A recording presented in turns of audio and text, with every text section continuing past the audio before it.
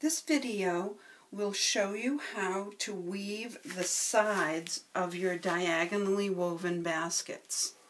The first thing that you have to do is you have to cut your strips at an angle on each end. To do this, you'll place your strips. Now, of course, your strips are going to be much longer than this.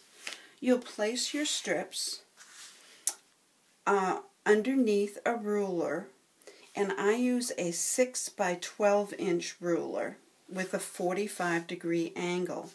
Place your strips under the ruler. Place the edge of one of your strips on the 45 degree angle and then cut on either side. Slide the ruler over and cut, slide the ruler over and cut, and so forth until you have all the strips that you need. Then you are going to sew across the bottoms of the strips. To do that, you're going to place your strips one on top of the other in opposing directions. So in the pattern, I refer to the right facing strips and the left facing strips. Now to sew them, I suggest that you strip piece them.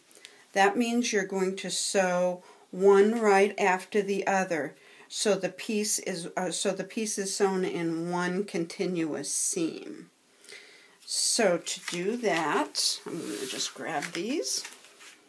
What you'll do is you're going to be sewing with an eighth of an inch seam.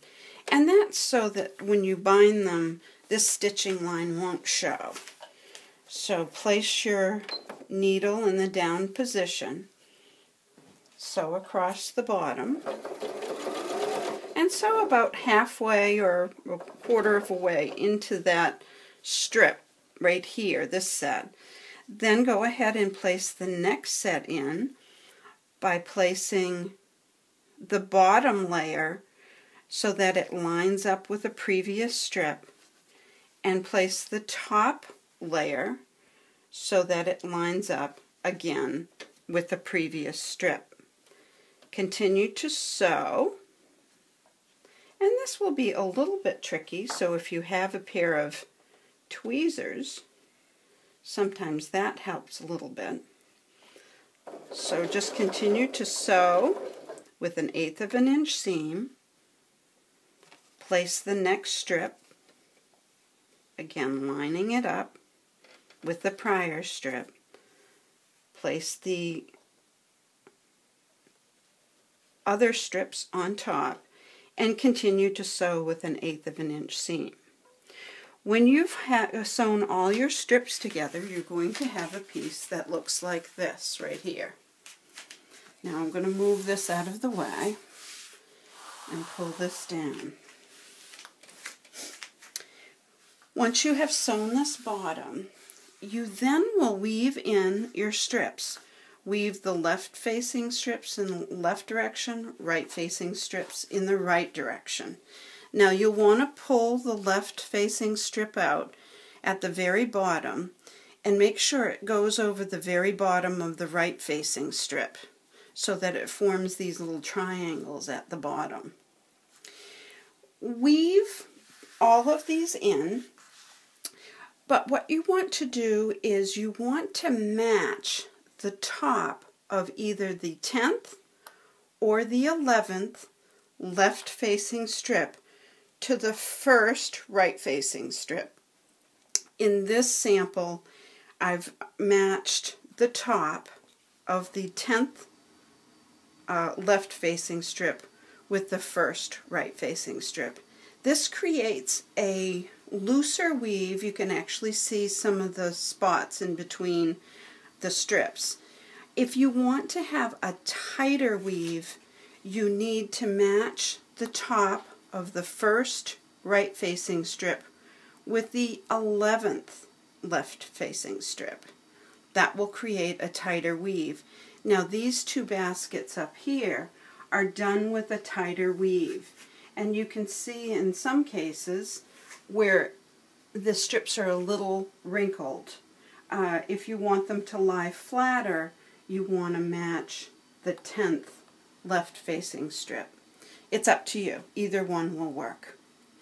So weave these all in and you'll only be able to go so far while it's still flat. You want to make sure that your bottom is lying flat. So if you have a pucker at all, uh, use a seam ripper, clip a few stitches down here, have them lie flat, and then re-stitch that bottom seam so it's one continuous seam.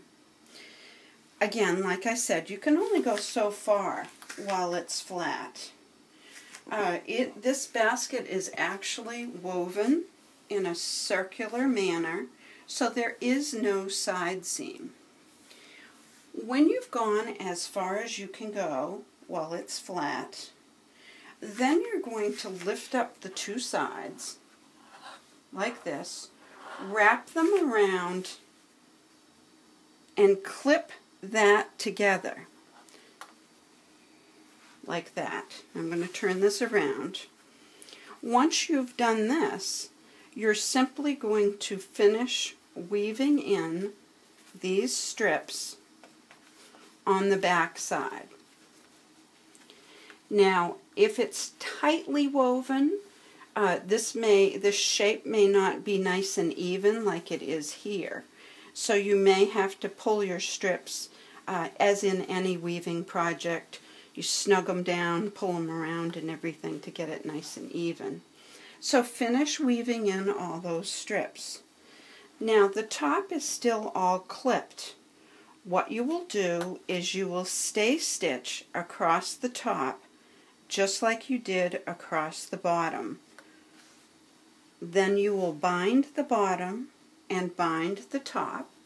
So here you'll see I've bound the top and I've bound the bottom. This is the bottom binding right here.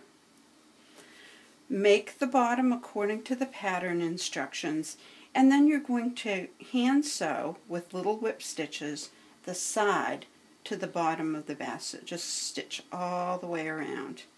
And that's it. I hope you enjoy.